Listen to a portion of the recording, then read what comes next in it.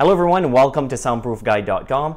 In this video, I'll be talking about one way to make your generator quieter, but if you do it like this, if you do it this way, the way that some people on YouTube, some very popular videos on YouTube are suggesting, you'll probably end up with a generator that will either not function right, will either catch on fire, or, well, just watch the video. So if you are looking for ways to make your generator quieter, there's a video right here that are, I believe, nine ways on how to make your generator quieter. Now, I do talk about what I'm going to talk about in this video in that video, but it's a little bit different than the way that I'll be doing it in this video. So just keep that in mind. So usually people that wants to make a generator quieter are people that has a non-inverter generator, just your typical uh, gasoline or propane generator that is a non-inverter, which means it's going to be a lot louder. So that makes if you have a 10,000 watt generator, 8,000 watt generator and up, it's most likely just your typical generator. And a lot of them goes from 80, 90, even to 100 decibels if you have a older model that just makes a lot of noise because everything is just old. So in the manufacturer's booklet, it will usually say to keep the generator at least six feet away from any object. So that would typically mean if you have it beside your house, have it six feet away from your house. So some people on YouTube think that it's a good idea just to, uh, well, how's about we watch? So right here, I'm basically just uh, doing what some people suggest, just uh, putting some wood or whatever you have around your house, whatever, I mean, some people say plywood, some people say drywall. So it's basically for people that wants to make the generator quieter. Yes, it will work. It will lower the decibel count of the generator if you look at my sound meter. Right now, I, I mean, the, so the generator was around 90 decibels when I'm standing close to it. So if I come back with my sound meter after I've built this little apparatus, yes, my generator will be much quieter by a fair amount of decibels as you can see. And another thing about a generator box is that it not only lowers the decibels, but it also changes the noise. It changes it from being a higher pitched noise to being a more droning noise. So even though you might not see that big a difference in your decibel count, well, the, the way the sound sounds like, you will notice a big difference.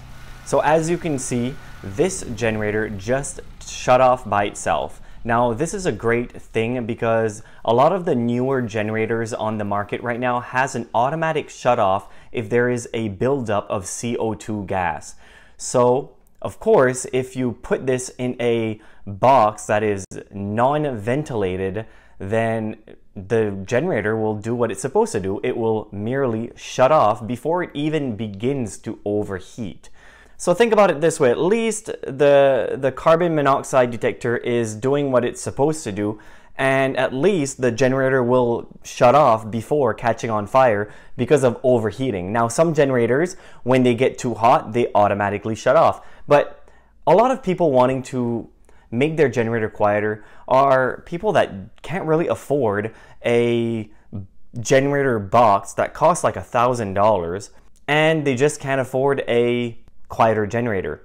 And most of the newer ones are a lot quieter. And the problem with the older ones is that everything moves, everything vibrates, and there's just going to be a high frequency, high pitched noise that is very ear piercing for a lot of people, and that's the reason why a lot of people build these types of apparatus. If you have a big enough piece of wood, you can build an A-frame.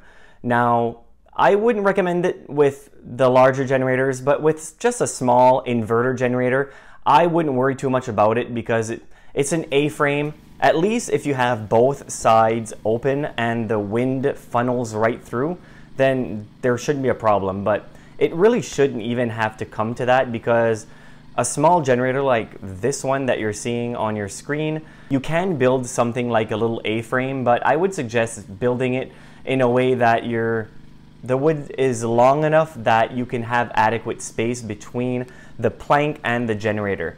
And at least these tiny generators, they don't tend to get super hot.